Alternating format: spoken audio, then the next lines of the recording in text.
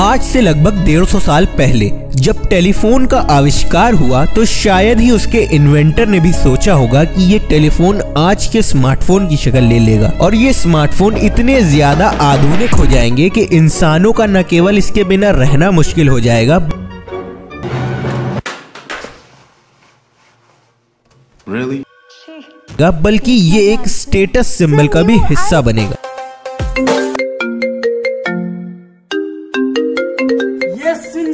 IPhone का ringtone iPhone का ringtone कभी सुना है तुम एंड्रॉइड यूज़र वालों ने? अच्छा। पर क्या सच में स्मार्टफ़ोन हमारे भले के लिए है या फिर ये स्मार्टफ़ोन इंडस्ट्री हमसे बहुत कुछ छुपा रही है? तो अगर आप जानना चाहते हैं स्मार्टफ़ोन इंडस्ट्री के डार्क सीक्रेट तो वीडियो को अंत तक ज़रूर देखिएगा। आपको लास्ट याद है कि आपने पुराना स्मार्टफ़ोन बदलकर नया कब लिया था? एक साल, दो या बहुत से बहुत तीन साल पहले। तो एक सर्वे के हिसाब से 42.6 परसेंट स्मार्टफ़ोन यूज़र ने अपने स्मार्टफोन्स को दो से तीन साल के अंदर और 28.7 परसेंट यूज़र ने एक से दो साल के अंदर चेंज कर दिया। पर इसका ये मतलब नहीं है कि स्मार्टफ़ोन इससे ज़्यादा चल नहीं सकते। क्योंकि अगर इसे आप पुराने टेलीफोन से कंपेयर करें तो कुछ तो 20 साल पुराने टेलीफोन यहाँ तक कि 10 से 15 साल पुराने मोबाइल फ़ोन भी आपको वर्किंग कंडीशन में मिल जाएँगे। तो फिर आज के टाइम पर तो हमारे पास रॉ मटेरियल्स टेक्निक दोनों ही पहले के मुकाबले ज़्यादा एडवांस है कि हम गुड क्वालिटी स्मार्टफ़ोन डिवाइसेस बना सकें। तो फिर भी क्यों आज के स्मार्टफ़ोन इतना कम चलते हैं? और आप क्या सोच सकते हैं इसके पीछे की वजह क्या है? और अगर आप सोच रहे हैं कि कोई नया स्मार्टफ़ोन खरीदेगा ही क्यों? वाह, क्या सीन है? जब तक पुराना खराब नहीं होगा तो आप बिल्कुल सही सोच रहे हैं।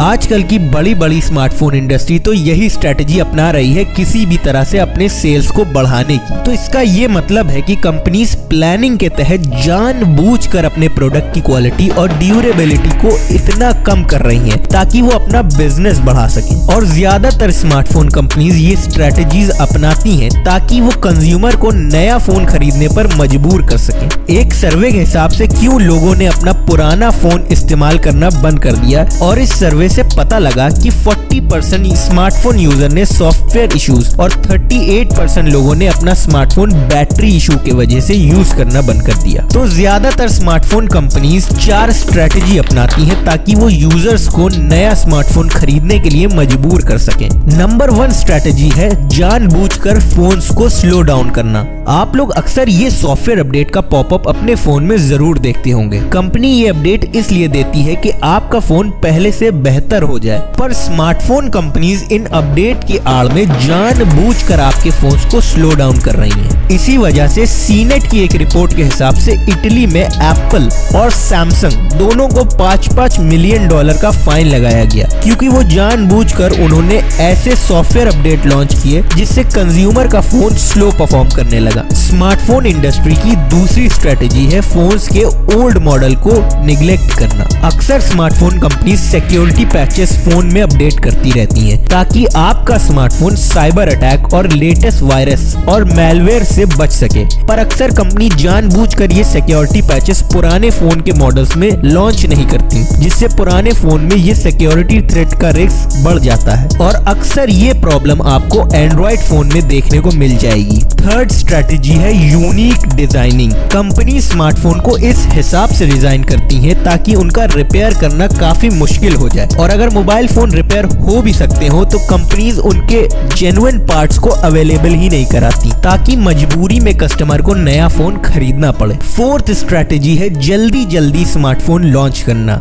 शायद वो दिन जा चुके हैं जब कंपनी साल में सिर्फ़ एक ही फ़ोन लॉन्च करती थी, पर इस टाइम पर तीन या चार महीने के अंदर ही स्मार्टफ़ोन कंपनी कोई ना कोई फ़ोन लॉन्च कर देती है, जिससे जो फ़ोन कंज्यूमर ने छह महीने पहले ही लिए थे, वो भी बहुत जल्दी आउटडेटेड लगने लगते हैं। जिसके वजह से कभी कभार कंज्यूमर साल भर के अंदर ही अपना फ़ोन यूज़ करना बंद कर देते हैं। और भले ही सारी कंपनीज़ प्रॉफिट कमाने की होड़ में कंज्यूमर को चील की तरह नोचने में लगी हो, पर इसका साइड इफ़ेक्ट सिर्फ़ स्मार्टफ़ोन यूज़र को नहीं, बल्कि सोसाइटी और एनवायरमेंट को भी भरना पड़ रहा है। क्योंकि द गार्जियंस के एक आर्टिकल के हिसाब से जो कोबाल्ट स्मार्टफ़ोन की लिथियम बैटरी में इस्तेमाल होता है। उसकी माइनिंग में सात साल के बच्चों को लगाया गया है, जो कि एक बढ़ती सीवर चाइल्ड लेबर की प्रॉब्लम है, जो कि न केवल सोसाइटी के लिए, बल्कि माइनिंग वर्कर की कंडीशन दोनों के लिए अच्छे नहीं है। अपनी रेवेन्यू इंक्रीज करने में लगी ये स्मार्टफ़ोन कंपनी जाने अनजाने में एनवायरमेंट को बहुत लंबी चोट पहुँचा रही है। पुराने स्मार्टफ़ोन से बढ़ते